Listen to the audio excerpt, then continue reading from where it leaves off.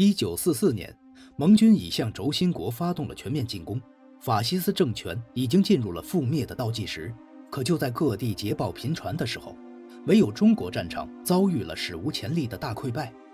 面对已是强弩之末的日军，国民政府却在玉香桂战役中惨败，不仅丢失了二十多万平方公里的土地，还让日军将中国西南切成两半。其败状之惨烈，甚至连美国都开始怀疑中国是否具备独立抗战的能力。但在这场耻辱的玉香桂战役中，却有一人拼死奋战，死守衡阳四十七日，险些让来犯日军全军覆没。这人究竟是谁呢？方先觉，黄埔三期，在军中服役多年，先后参加北伐战争和蒋桂战争。抗日战争爆发后，方先觉被任命为预备第十师师长，先后率部参加了淞沪会战、武汉会战和三次长沙会战，可以说是国军中久经沙场的悍将。方先觉不仅战场经验丰富，在国军队伍中更是出了名的不怕死。第三次长沙会战时，方先觉接到了第九战区司令薛岳的电话。薛岳问他阵地能守几天，方先觉回答能守一个星期。当被问到如何守时，方先觉断然地说：“一线守两天，二线守三天，三线守两天。”挂下电话后，方先觉当即命人准备好笔墨，写下遗嘱。之后转交给副官张广宽，张广宽看后，当即决定将之公之于众，并于第二天在《长沙日报》以“方师长誓死守土，与立遗嘱”为头版大标题，将遗嘱全文刊登。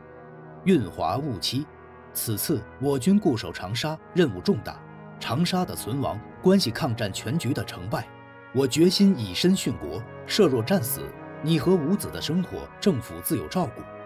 遗嘱一出，举国震惊，全国军民在感慨方师长悍不畏死、为国尽忠之余，更是踊跃备战，士气大振。借着方先觉的这一号召，全国军民众志成城，歼敌五万，一起打出了长沙大捷。至此之后，方先觉在国民党军队中就成了标杆一样的人物，代表着中国军人的血性和勇气。一九四四年。日本的海空军在太平洋战场上几乎被消灭殆尽。为了夺回战争主动权，日军大本营决定从中国寻找突破口。这个突破口就是打通华北到东南亚的大东亚交通线，从而让日军的各部分贯通起来，并联系被切断海上交通的南洋日军，以保护日本本土和东海海上交通安全。想要打通这个交通线，日军就必须攻克长沙、衡阳、桂林。日本陆军第十一军统帅横山勇带着十二万日军，在用重兵砸穿薛岳精心构筑的天炉战法后，立即挺进长沙，将长沙纳入日军的控制下。随后，日军马不停蹄地赶往下一个战略要地衡阳。此时，衡阳周边的中国军队均已被日军击溃消灭，镇守衡阳的方先觉和一点七万守军已然陷入了孤立无援的状态。如此危机之下，蒋介石亲自给方先觉打电话，要求方先觉务必坚守两个星期，尽量消耗敌人。方先觉当即表示，第十军将不惜任何牺牲，一直战斗到死而后已。惨烈的衡阳保卫战打响了，在最初的三天，日军先是扫荡了衡阳外围的阵地，并摧毁了湘江机场，随后派部队迂回到衡阳以南，切断守军后撤的道路。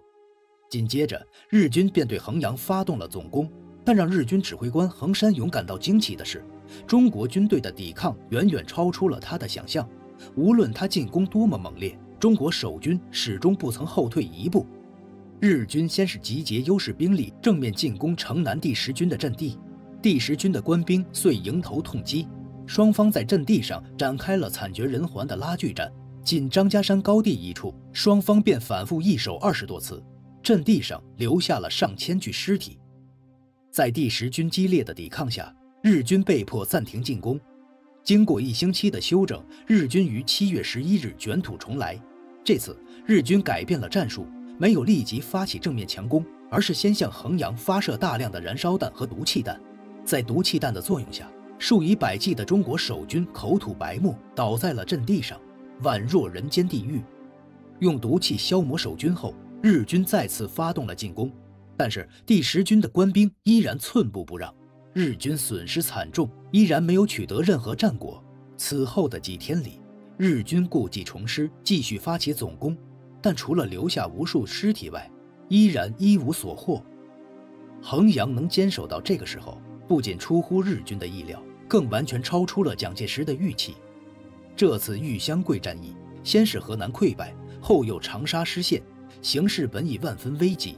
但没想到，方先觉固守的衡阳却成为了战役的转折点，死死拖住了日军。如果此时能抓住战机，扩大战果，定能一雪前耻。对于蒋介石来说，这个机会绝不能放过。因为就在长沙失陷后不久，罗斯福就提议让史迪威取代蒋介石担任盟军远东总司令。蒋介石因此痛心疾首地说：“外国人已经不把我们军队当做一个军队，不把我们军人当做一个军人，这种精神上的耻辱，较之于日寇占我们的国土还要难受。”为了挽回自己的地位，蒋介石遂命令附近的国军火速驰援衡阳。争取与方先觉里应外合，全歼日军。此时，方先觉已经坚守了三十九天，在日军疯狂的进攻下，第十军逐渐面临补给匮乏、弹尽粮绝的危险。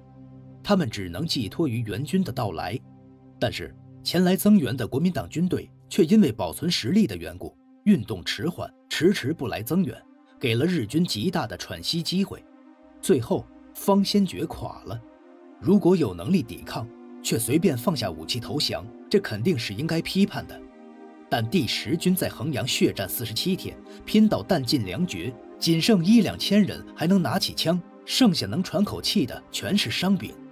这种情况下，投降是迫不得已的选择，无可厚非。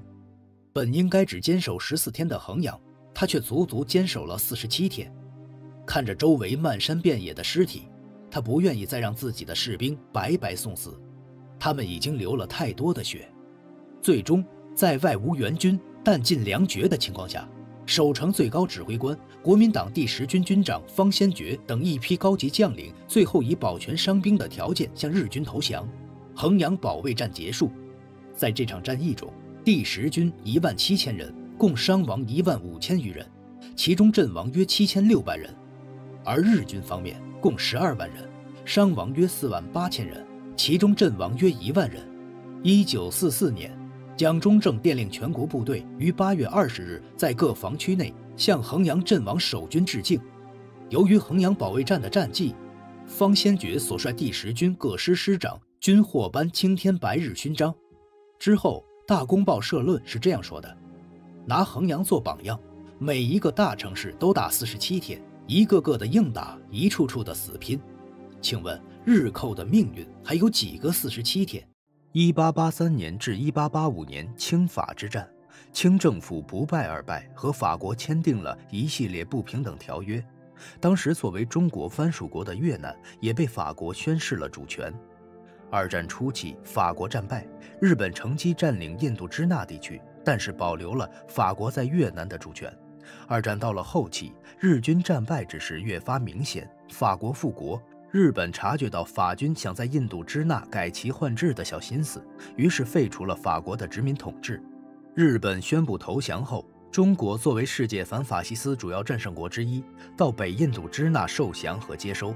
但法国急于恢复在印度支那的殖民统治，威胁要用武力将中国军队赶出北印度支那，便在1946年3月6日。派遣舰队闯入粤北的海防港，但随后的一场战役却令法国人彻底惊呆了。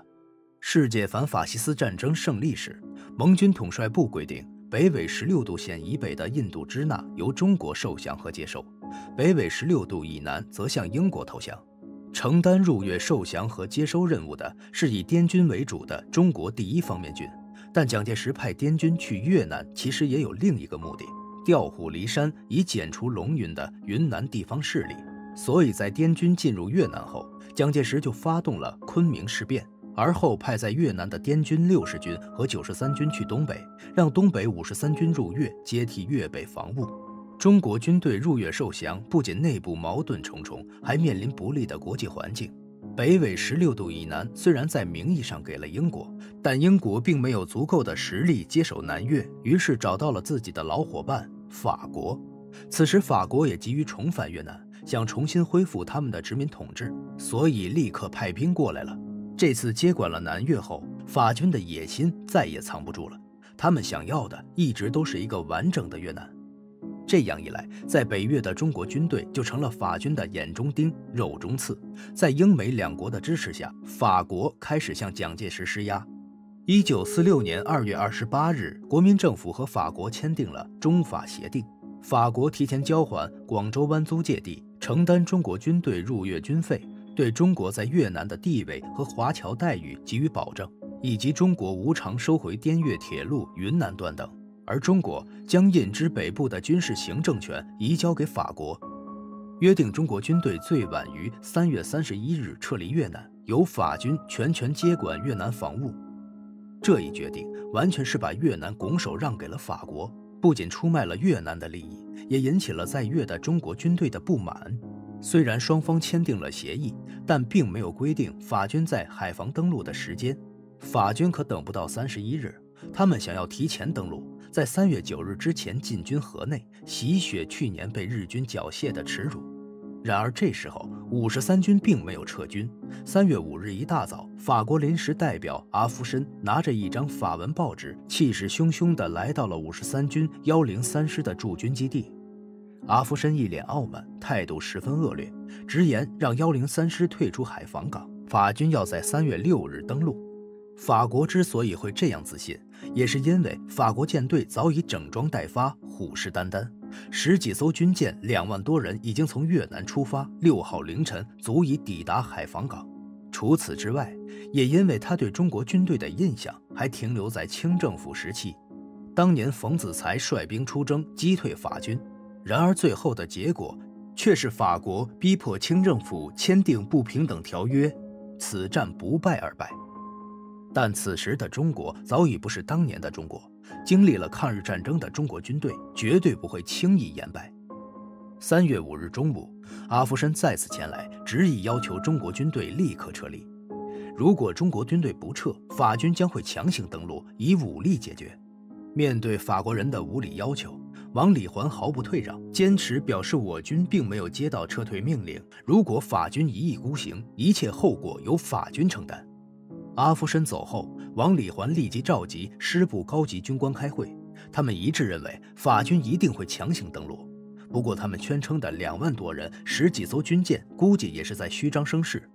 经过分析后，王礼环决定就以现有的幺三零师的兵力阻止法军登陆。于是，幺三零师立即进行战备部署，中法海防之战开始了。不出所料，三月六日凌晨两点。三三八团一营营长前来报告，发现海军的军舰正向港口驶来，守军发射了十几枚信号弹，但对方并不理睬，继续向前行驶。王礼环接到信息后，立即向全师下令进入战斗状态，按先前计划行事。